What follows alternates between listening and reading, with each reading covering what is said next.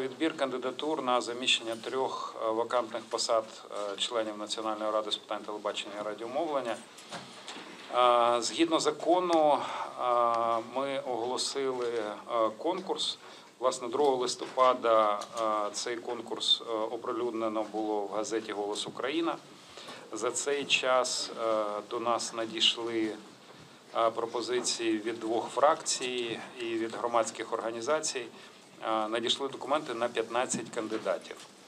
Е, Це відповідно від Слуги народу е, Бошковий від ОПЗЖ Лоташевський Малазонія, а також від згідно закону це можливо від громадської спілки Асоціації мовлення громад одразу сім кандидатів: Глущенко, Іляшенко, Кіфлюк, Куліш, Лахно, Червакова, Черниш від НСЖУ Бурмагін та Паславський і від спілки фотохудожників Єлів Феров та неурядової організації Європейська медіаплатформа Хмарук.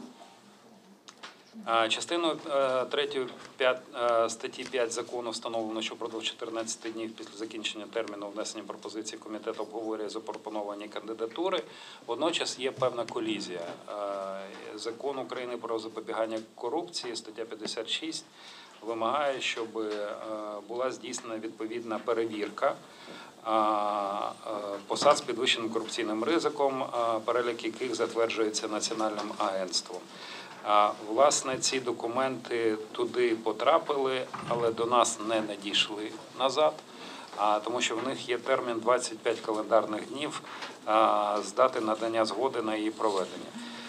Цей термін не вичерпаний, там багато речей, які підлягають відомості, тому що власне до компетенції нашого комітету відноситься професійна оцінка людей, які подаються. А агентство має перевірити судові рішення щодо цих кандидатів, адміністративні стягнення, декларації, корпоративні права, стан здоров'я.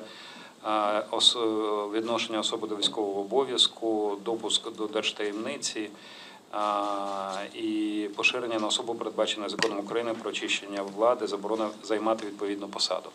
Тому, на мій погляд, було б логічним, коли ми отримаємо результати перевірки, власне, нам вже самим обговорювати з розумінням того, скільки власне кандидатів там залишиться, можливо, всі, але було б очевидно некоректно нам самим обговорювати, а потім чекати результатів, а потім знову обговорювати. Е, Тому є пропозиція дочекатися е, рішення стосовно спецперевірки і перенести розгляд цих питань на наступне засідання комітету.